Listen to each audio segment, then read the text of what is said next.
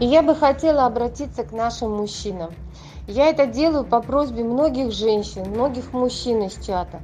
Мне пишут десятки людей, не только в нашем чате, в других социальных сетях, в Инстаграм, в Фейсбуке, даже в YouTube присылают сообщения и просят сделать именно такое обращение.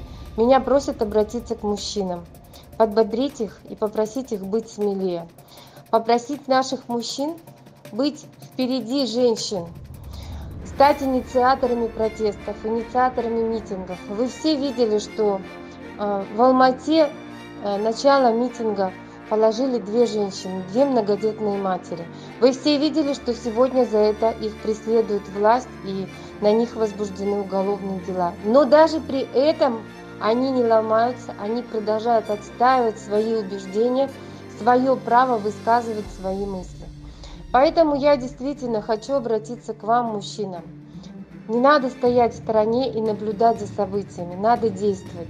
Не надо присматриваться к толпе.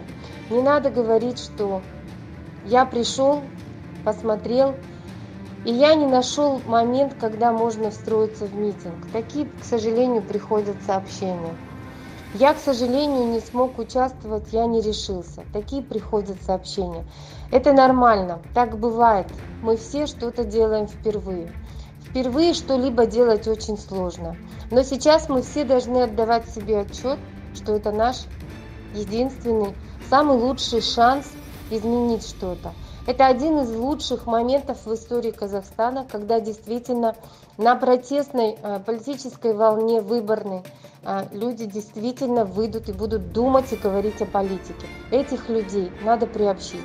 Этих людей надо сделать нашими сторонниками. И это должны делать наши мужчины в первую очередь. Жмите на колокольчик, чтобы первыми узнавать о новых видео. Подписывайтесь на каналы 1612 в Инстаграм и Телеграм.